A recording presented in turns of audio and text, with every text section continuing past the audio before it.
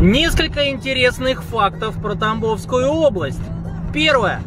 Очень сильно воняет навозом. Очень сильно. Ну просто даже дышать в какой-то момент не хочется. Второе. Просто море радаров, море, треноги, ничем не обозначены, стоят за остановками, спрятались, ребятки рубят капусту.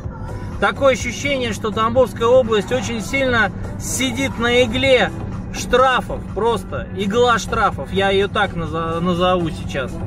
И третье, да, это огромное количество работающих экипажев ДПС. Очень много ребят, которые стоят на сплошных, тоже треноги у них там, видеокамеры, в общем, ребята занимаются наблюдениями, да, и остановками людей, которые едут из Москвы и в Москву. Что еще интересного? Ну, в принципе, достаточно чистая обочина, это четвертая, да.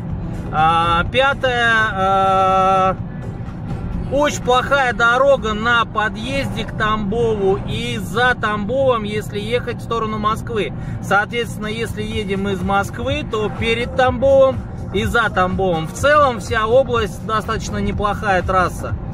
А, шестое. Ограничение скорости во многих местах 70 км в час. При всем при этом дорога нормальная. То есть нет никаких там а, изгибов, поворотов резких. И видимость хорошая. Но почему-то ты едешь и резко с 90 км в час падает скорость до 70 и в этих местах, собственно, и работают экипажи ДПС и стоят треноги. Очень много где. Берегите себя и